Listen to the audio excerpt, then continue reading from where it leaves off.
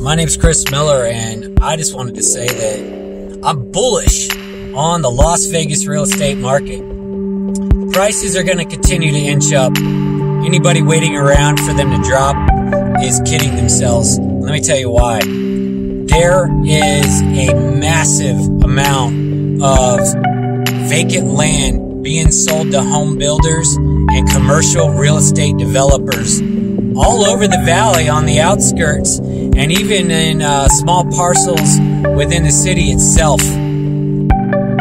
Why would they spend hundreds of millions of dollars investing in this if they didn't expect to have a good return over the next five to even 10 years time? So, something to think about, and uh, you can message me below.